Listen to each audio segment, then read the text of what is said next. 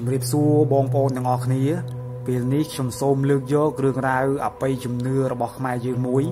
ដែលយើងនិយាយអំពីជំនាញផ្ទះបងប្អូនទាំងអស់គ្នាប្រកាសជាធ្លាប់បានឮនិងដឹងខ្លះខ្លះហើយជំនាញផ្ទះគឺជា អ្នកថែរក្សាផ្ទះសម្បែងក៏ដូចជាថែរក្សាក្រុមគ្រួសារនិងសាច់ញាតិដែលរស់នៅក្នុងផ្ទះសម្បែងរបស់យើងហើយរឿងនេះគឺបានកើតឡើងចំពោះខ្ញុំ ក្នុងអំឡុងឆ្នាំ2014ដែលកាលនោះគឺខ្ញុំមាន ពូនិងមីងរបស់ខ្ញុំដែលគាត់រស់នៅខេត្តបាត់ដំបងគាត់បានមកលេងផ្ទះរបស់ខ្ញុំកាលនោះគឺជាពេលដែលចូលឆ្នាំខ្មែរចំណែកឯផ្ទះរបស់ខ្ញុំគឺជាផ្ទះឈើដូច្នេះហើយផ្ទះគឺមិនសូវធំប៉ុន្មានទេ មានបន្ទប់តែ2តែប៉ុណ្ណោះបន្ទប់របស់ខ្ញុំគឺខ្ញុំបានរៀបចំឲ្យពូនិងមីងរបស់ខ្ញុំសម្រាប់ហើយមានបងប្អូនរបស់ខ្ញុំជាច្រើនទៀតដែលយើងរស់នៅជាមួយគ្នាម្ល៉េះហើយ ក៏អត់មានកន្លែងទំនេរនៅក្នុងផ្ទះនោះទេទើបខ្ញុំសម្រេចចិត្តមកដេកនៅរៀនហាលតែម្នាក់ឯងនៅក្នុងថ្ងៃនោះគឺយប់រៀងជ្រៅណាស់ទៅហើយម៉ោងប្រហែលជា11ទៅហើយពេលនោះខ្ញុំកំពុងតែដេកក៏ស្រាប់តែមានអារម្មណ៍ថាមានខ្យល់បក់យ៉ាងខ្លាំងបក់រហូតដល់ប៉ើងជើងមុងរហូតដល់ប៉ើងភួយរបស់ខ្ញុំទៀតបន្ទាប់មកខ្ញុំក៏ភ្ញាក់ដឹងខ្លួន ហើយខ្ញុំពិតជាមានអារម្មណ៍ចម្លែកណាស់ថា ខែនេះគឺជាខែប្រាំងជាខែចូលឆ្នាំហេតុអ្វីបានជាមានខ្យល់ខ្លាំងម្ល៉េះដូចជាខ្យល់ជុះអញ្ចឹងនៅពេលនោះខ្ញុំក៏បាន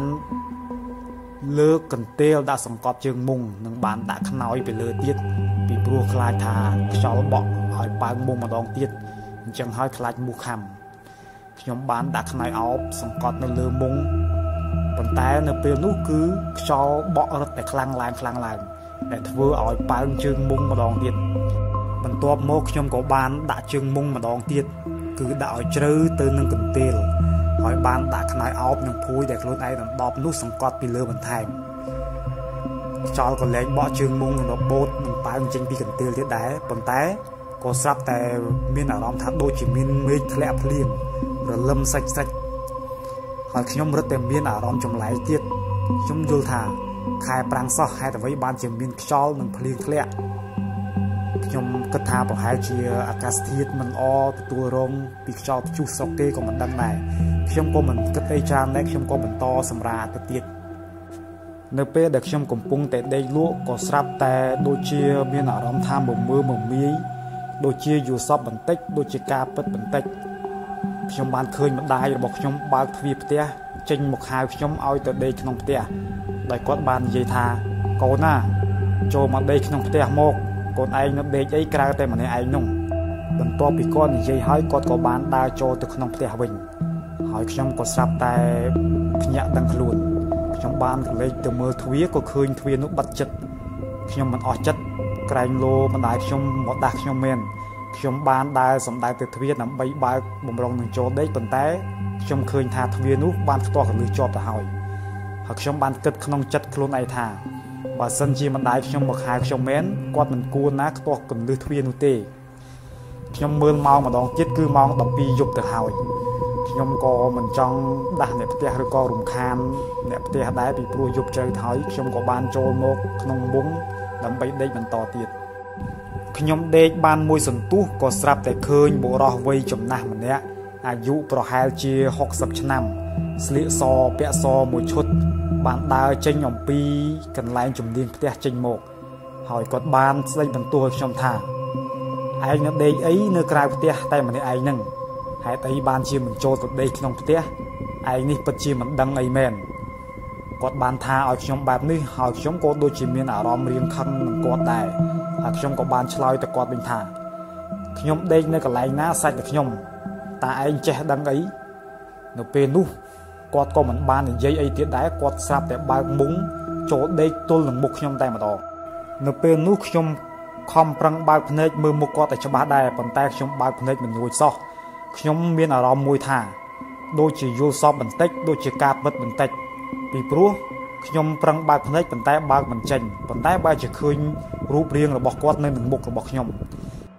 រហូតដល់គាត់បានងើបចេញហើយដើរសម្ដៅទៅកន្លែងជើងធូបជំនិញផ្ទះហើយក៏បាត់ស្រមោលបាត់ទៅនៅពេលនោះទើបខ្ញុំអាចបើកភ្នែករបស់ខ្ញុំបានហើយខ្ញុំបានសម្លឹងជុំវិញខ្លួនរបស់ខ្ញុំគឺគ្មានមនុស្សឬក៏អ្នកណាម្នាក់នោះទេខ្ញុំបានមើលនាឡិកាម្ដងទៀតម៉ោងគឺ3ចិត្តភ្លឺទៅហើយនៅពេលដែលជួបស្ថានភាពបែបហ្នឹងខ្ញុំក៏មានអារម្មណ៍រៀងខ្លាចបន្តិចដែរហើយពេលនោះខ្ញុំក៏ចង់ចូលទៅដេកក្នុងផ្ទះវិញដែរ ក៏ប៉ុន្តែម៉ោង3ចិត្តភ្លឺទៅហើយខ្ញុំគិតថាដេកតែបន្តិចទៀតទៅគឺមេឃភ្លឺហើយម្ល៉េះហើយទើបខ្ញុំបន្តដេករហូតដល់ភ្លឺ